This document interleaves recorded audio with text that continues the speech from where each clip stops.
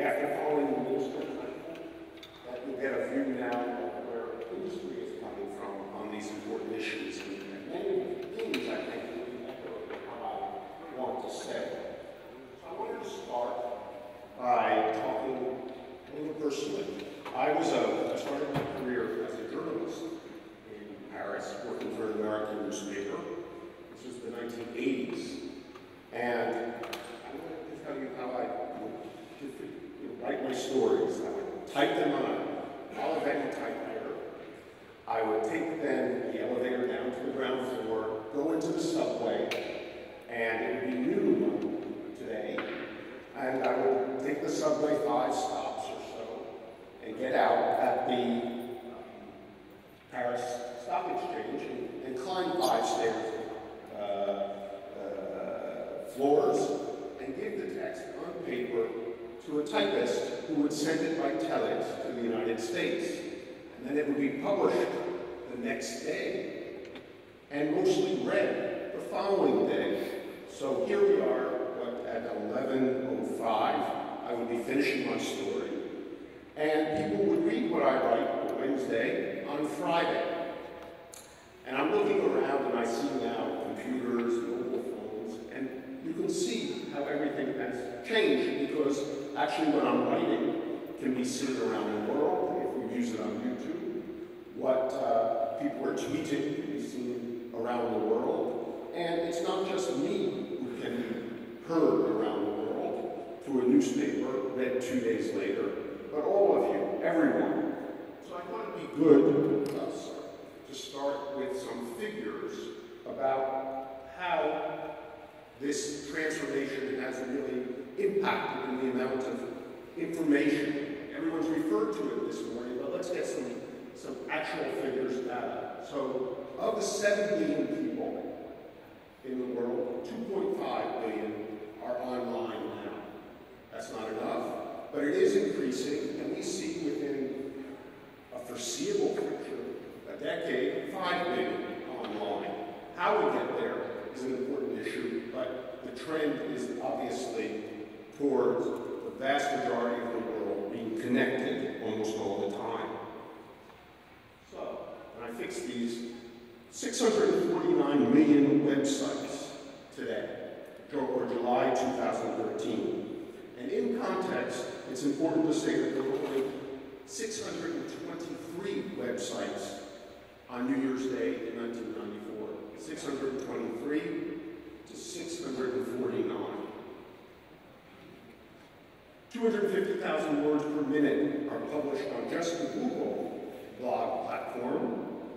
That, if you think about it, a book is about 100,000 words. Uh, this is 2.5 books being published every minute just on one company's platform. And there are many, many other platforms, and people even talk about Blogger or blogs as passe. I'm not quite sure it's true, but uh, with Twitter and Facebook and other ways of communicating, uh, it is not seen as the, the, the cutting edge anymore. And this is a figure I think that's really striking because every two months I seem to have to raise it. 100 hours of video that are given, that are put up on YouTube per minute. When I started talking to audiences at Google maybe two years ago, the figure was 32 hours per minute. And I thought that was a lot. So, I mean, I can go on and on. Um, we have a total transformation in one, the amount of that being distributed, and the power of who can distribute it. Not just the journalist, not just the politician, but everyone. And how does that impact um, on politics. I think that's the subject today, and many of the speakers have, have, have grasped it, and I think they've hit the, the truth, which is it changes a lot, but it doesn't change everything. Uh, it does allow the Arab Spring uh, groups to mobilize. It does uh, turn over politics, but at the same time, uh, I mean, so we can see the internet empowering citizens, and I, I think people mentioned the Egyptian revolution, with the, the Facebook page uh, that mobilized the mobilization, uh, a, video mobilizing fight back against Joseph Kony, who was abducting child soldiers, who is abducting child soldiers in Uganda, in the United States, a lot of the Occupy movement, and so forth. Um, we're also seeing you know, governments react to the internet. Uh, in Indiana, became the first state recently to, to allow people to vote, and Estonia has held electronic elections. Um, and uh, there, there's many ways. I hear in Greece, for example, there's an open data movement uh, that would allow uh, companies and individuals, NGOs, to have access to government data from subway times to government records. And that's something that, we really are working very hard for. Uh, and we would applaud the Greek government for creating an open data platform. But at the same time, I mean, we do, as many speakers have recognized, see the limits of one of the first things I covered as a journalist was the collapse of communism in Poland, Czechoslovakia, then Czechoslovakia before it became split into the Czech Republic and Slovakia, Hungary, and there was no internet. So we talked about the 1973 student uh, revolts here in, in Greece, and there was no internet. Um, in Poland, Solidarity, a labor movement, had 15 million members within a month of its creation, and its main organizing tool was the church, or its space the church, and the factory. So the basic needs of what people want to achieve through politics do not change, but the internet allows them to participate perhaps even more uh, effectively and allows each of us uh, more easily to, to participate. Um, now, the other big topic that I'm dealing with and that I think needs to be raised today is where's the state of that new freedom that everyone has to talk, to, to speak, to write, and publish. What we see around the world is a growing trend towards nothing less than censorship. Um, we, there was a recent study by the Open Net Initiative. It studied 75 countries, and it found that in those 75, of those 75 countries, some 40 of them uh, censored, filtered, or blocked. Now at Google, uh, what we work in about 150 countries, and in any one moment we would say, it changes every day, that our products would be blocked uh, in 25 of them. It can be YouTube, uh, blocked in Pakistan, for example. It can be blocked in China, in Iran, in North Korea. Um, it can be Google Docs, which people don't like because you can share information on them. It can be Blogger, there's a blog that uh, is offensive to some parts of the population or the government. Um, and of course, there's our experience at Google in China, where we saw a steady and measurable increase in censorship in every which way on the internet that ultimately led us to leave the country and stop doing searches, uh, leave uh, to Hong Kong and only offer searches where there was freedom to do so. So that is, um, for us, a growing, growing problem. Um, this type of pressure on the internet can take place in many ways and in many places. Um, one of the places is the UN system. So we see the internet as being built in 20 short years, since I was a journalist in Paris, to now, where all of you are tweeting, from a bottom-up, market-driven system that brought together private business, NGOs, civil society, and government. And no one had veto, and it was powered uh, by the force of everyone working, in a sense, together, uh, given by the incentives of the internet to share, create, uh, and so forth. But if we look around the world, we see countries like Russia, China, the Arab states would like to change that and put a government-controlled system of internet governance. And the latest manifestation of that was a summit in Dubai last December of the International Telecommunications Union.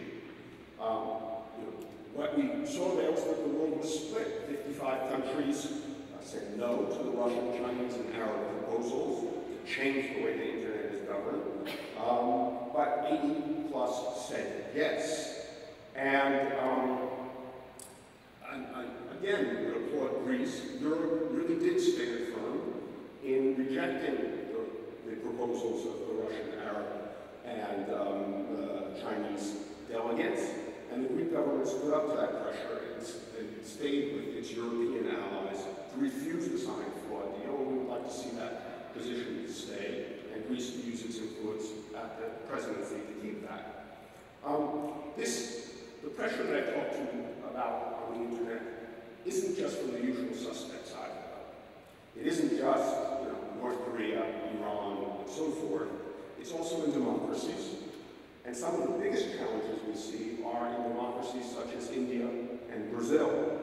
Now, our country president was recently arrested in Brazil over a video on YouTube that we would consider just legitimate political speech.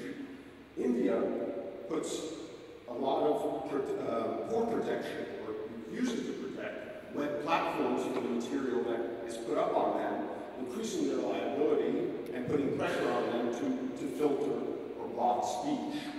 And even here in Europe, I mean, I spent a lot of time talking about the right to be forgotten, and we did talk about the balance between privacy and free expression in some of the speeches earlier. Um, but Google faces a series of cases, one before the European Court uh, uh, of Justice in Luxembourg, on exactly that, that the, that the right to be forgotten should be turned into something about the right uh, to rewrite history, and that we need to remember also the right to remember. So for us, this is very important that we don't have to uh, stop linking with legitimate information when we do searches, or build a censorship machine to, to, because people don't like what they find when they search the internet. What are we doing to promote internet freedom and digital participation? So our, our default position is to let information flow. And the first thing we do is transparency. And this is becoming more and more a key theme in the wake of, wake of recent revelations. So four years ago, before, before any other companies, we started producing a transparency report where we wanted to be transparent and we told about all the requests, the requests that we received from governments to take down information uh, and uh, or uh, give over information on users. And we've been publishing it ever since. You can Google Google Transparency Report, and uh, you will see it's, it's updated months. We'll update it fairly soon. Um, and it goes country by country uh, with uh, details on the amount of requests we receive to take down content or hand over information on users. Um, what we are seeing is that uh, there's a, a, dramatic rise in those requests over time. Uh, I think that they've more than doubled over the last couple of years. And that we, we, going back to what I said earlier, many of the requests were coming in places like uh, in democracies, Brazil and India, for example. Um, in Brazil, uh, for example, we got 4,000 requests for data uh, over the last uh, year or so. Um, and obviously, also this transparency report is uh, flawed because it didn't include all the information about the recent American government surveillance. And we're now suing the American government to that because we feel that only by showing the numbers will people understand what is going on. And we try to make as many details as possible without um, compromising national security or breaking the law. But unfortunately, at this point, the law in America does not allow us to publish those figures. So how do we show this? Uh, we also do on the Transparency Report keep a, a log of where the internet is under pressure, where it's being cut, where it's being uh, uh, interrupted. And if you look at the graph there, you'll see uh, the first part shows Egypt, and then in the middle of the Tahrir Square uh, revolution, protest, there's a dramatic drop, because that's where the Egyptian government actually cut access for more than a day to the internet. Uh, the entire web was shut down. And in the bottom, you can also see the same sort of uh, dramatic because that's a Pakistani graph, uh, graph of YouTube in Pakistan, where over um, everyone on Muhammad Day, uh, all the traffic to YouTube was cut, and it's been recut ever since uh, because of the Innocence of Muslim video. So another thing that we are doing at Google is trying to work together with civil society and other companies to prevent a rush to the bottom. The Global Network Initiative was set up, bringing together academics, companies, uh, and NGOs uh, to set common rules on how we deal with government requests for information. Um, it was set up in the wake of what happened in China, where one company handed over information on dissidents who were emailed, uh, and where these dissidents were then arrested and thrown into jail. Um, at first, for the first three years of its existence, it really wasn't the Global Network Initiative. It was more the American Network Initiative, since only American companies and American uh, NGOs were, were engaged. And one of the things I've been working on over the last three years is attempting to get more European participation. And recently, European NGOs Index on Censorship has joined, and we started a dialogue with the European telephone companies to see if we can work together to find limits or at least common rules on how we deal with government pressure to, to uh, police the internet. Okay? Throughout many Europeans, many countries in Europe are supportive of much of what I've said, supportive of internet freedom. In Dubai, Europe stood up and rejected the Russian and Arab proposal. Um, the biggest support has come from Sweden, uh, Swedish Foreign Minister Carl Bildt, and he's someone who really does also use the internet to communicate in a, in a very effective way. He has more than 150,000 followers on Twitter. So, and here you'll see he's also been instrumental in founding something called Freedom Online, which brings together about 20 countries across the globe dedicated to protecting internet freedom. And Neelie Kroes, who I think you'll be dealing with a lot for your digital summit and in the new presidency, has also been a big, big supporter of keeping the internet free. Um, what I would like to say in closing is I hope if I ever come back here next year that I can add a slide and have a Greek politician uh, standing up for the same sort of values and the Greek presidency uh, being quoted in a similar fashion. Thank you very much.